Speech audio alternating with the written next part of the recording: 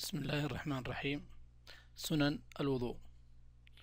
من سنن الوضوء التسمية. وهذا ما ذهب إليه جمهور أهل العلم. وقالوا لم يثبتوا في التسمية دليل يوجبها فتبقى على الاستحباب. وبعضهم قال التسمية شرط. لما ورد لا وضوء لمن لم يذكر اسم الله عليه. ومقتضى هذه الشرطية أنها لا تسقط سواء كانت عمدا أو سهوا أو نسيان والمقرر عند الحنابلة أنها تجب على الذاكر دون الناس. فمن ذكر التسمية عند الوضوء وجبت عليه ومن غفل عنها أو نسيها فلا شيء عليه ووضوءه صحيح. ومن سنن الوضوء غسل الكفين ثلاثا في أول الوضوء. وكذلك البدء بالمضمضة والاستنشاق بعد غسل الكفين فيبدأ بالمضمضة والاستنشاق قبل غسل الوجه. ومن السنن كذلك الاستنثار باليسار. يدل على ما سبق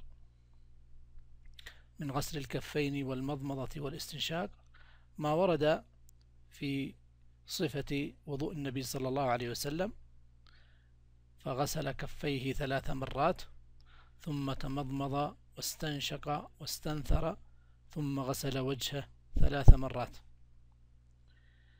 ومن السنن في الوضوء المبالغة في المضمضة والاستنشاق لغير الصائم. لدليل وبالغ بالاستنشاق إلا أن تكون صائما. ومنع غير ومنع الصائم حتى لا يدخل آه، شيئا من الماء إلى جوفه فيفسد عليه صومه. ومعنى المبالغة في المضمضة والمبالغة في الاستنشاق المبالغة في المضمضة هو أن يدير الماء في جميع الفم. والمبالغة في الاستنشاق هو جذب الماء إلى أقصى الأنف ثم إخراجه. ومن سنن الوضوء المضمضة والاستنشاق من كف واحدة. لا يفصل بينهما. فيأخذ غرفة من الإناء فيتمضمض بجزء ويستنشق بجزء. لما ورد في صفة وضوء النبي صلى الله عليه وسلم ثم أدخل يده فتمضمض واستنشق من كف واحدة ومن سنن الوضوء السواك ومحله عند المضمضة. واستدلوا على ذلك بقوله صلى الله عليه وسلم لولا أن أشق على أمتي لأمرتهم بالسواك مع كل وضوء. ومن السنن تخليل اللحية الكثيفة عند غسل الوجه حتى يصل الماء إلى منابت. الشعر. ومن سنن الوضوء كذلك في مسح الرأس أن يبدأ بمقدمة الرأس إلى آخر القفا ثم يعود إلى المقدمة مرة أخرى. لما ثبت في صفة وضوء النبي صلى الله عليه وسلم أنه مسح برأسه فأقبل بيديه وأدبر. وأما المسح الواجب في آه، وأما المسح الواجب في الرأس فهو أن يعمم آه، رأسه بالمسح على أي صفة كانت.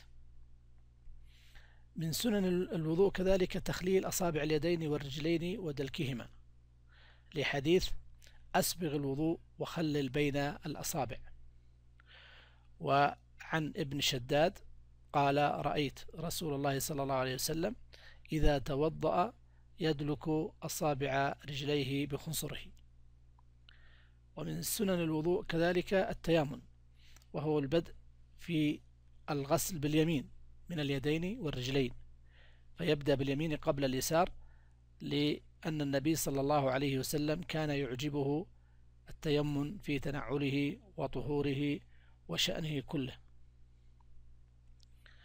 ومن سنن الوضوء الزيادة على الغسلة الواحدة إلى ثلاث غسلات فالغسلة الواحدة واجبة والزيادة عليها إلى ثلاث غسلات هذا سنة من سنن الوضوء سواء كان في الوجه أو اليدين أو الرجلين.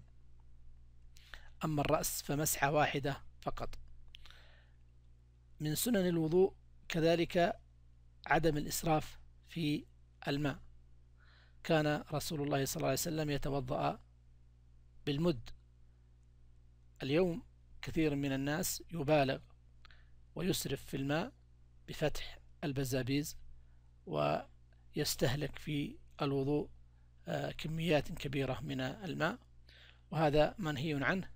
قال صلى الله عليه وسلم لا تسرف ولو كنت على نهر جاري. من سنن الوضوء إسباغ الوضوء وهو أن تعطي كل عضو حقه في الغسل فلا يبقى منه شيء. من سنن الوضوء الذكر بعد الفراغ من الوضوء. فما من مسلم يقول أشهد أن لا إله إلا الله وحده لا شريك له وأشهد أن محمدا عبده ورسوله إلا فتحت له أبواب الجنة الثمانية يدخل من أيها شاء. هذا رواه مسلم وغيره. ورواه كذلك الترمذي وزاد اللهم اجعلني من التوابين واجعلني من المتطهرين. من سنن الوضوء صلاة ركعتين بعد الوضوء أن يصلي ركعتين بعد بعد أن يتوضأ. قال رسول الله صلى الله عليه وسلم من توضأ نحو وضوء هذا ثم صلى ركعتين لا يحدث فيهما نفسه غفر له ما تقدم من ذنبه. وقد ورد عن النبي صلى الله عليه وسلم أنه قال لبلال سمعت خشخشة نعلك في الجنة فبأي فماذا كنت تعمل؟